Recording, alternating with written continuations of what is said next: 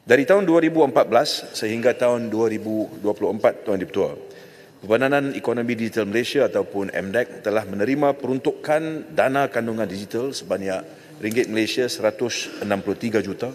bagi menjalankan dan menyediakan bantuan kewangan kepada industri animasi, industri permainan digital, industri komik digital dan juga industri kandungan teknologi kreatif.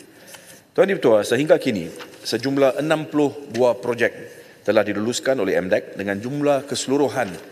dana sebanyak 36.7 juta ringgit Malaysia bagi pembangunan permainan digital yang meliputi platform komputer, konsol dan mudah alih.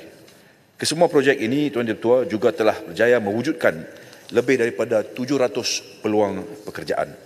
Industri permainan digital Malaysia telah mencatat hasil jualan dan juga ekspor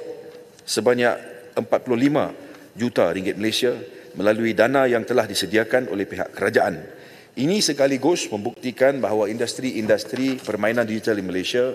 memiliki potensi yang besar untuk dimajukan melalui sokongan daripada kerajaan dalam akses pasaran, inkubator, persidangan, bengkel, program upskilling